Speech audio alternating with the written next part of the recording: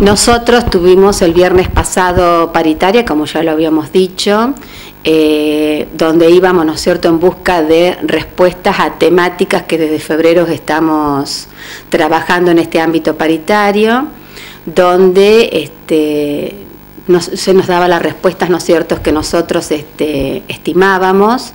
Y bueno, era como que esta era la última paritaria en la cual nosotros íbamos en busca de esas respuestas.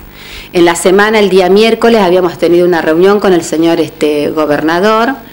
De esa reunión nos fuimos este, con mi compañera, yo fui, asistí a esa reunión junto con Claudia Fernández, con un desazón terrible, nos fuimos de ahí porque, bueno, no, no hubo, no se lo pudo hacer entrar en razón de que todas las temáticas que nosotros estábamos planteando en paritarias eh, debían firmarse los acuerdos paritarios en ese ámbito.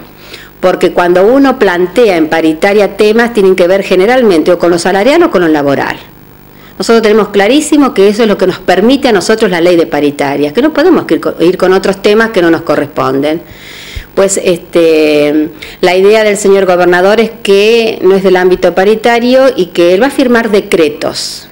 A través de decretos nos va a dar algunas cuestiones que nosotros estamos planteando. Pues nosotros por supuesto que lo rechazamos. Pero fuimos con la esperanza el día viernes a la paritaria de que por ahí el señor reflexionaba del miércoles al viernes y se nos iba a permitir firmar acuerdos con respecto a estos temas.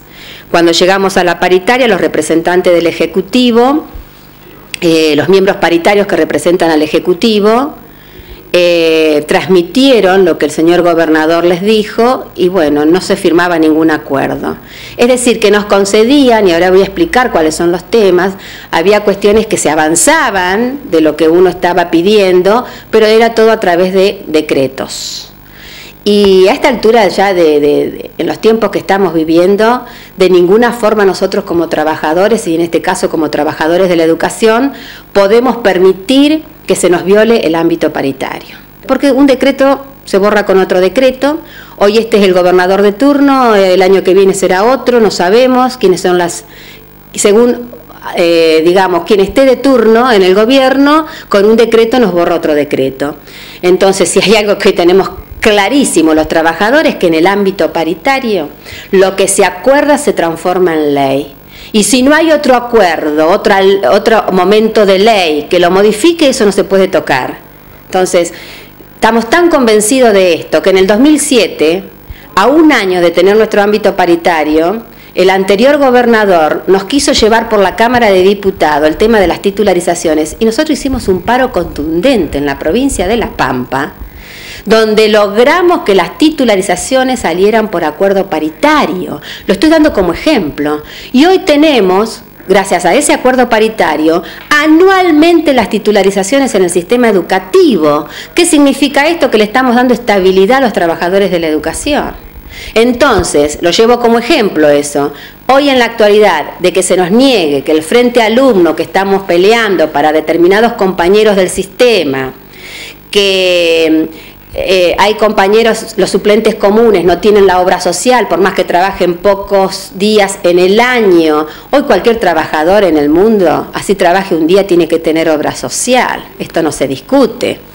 Eh, las titularizaciones para aquellos compañeros que por determinadas este, definiciones que los gobiernos no han, no han, aplicado o por la anterior ley de educación, la ley federal, nunca salieron a titularizar, nosotros consideramos que tienen que quedar titulares para darle estabilidad laboral.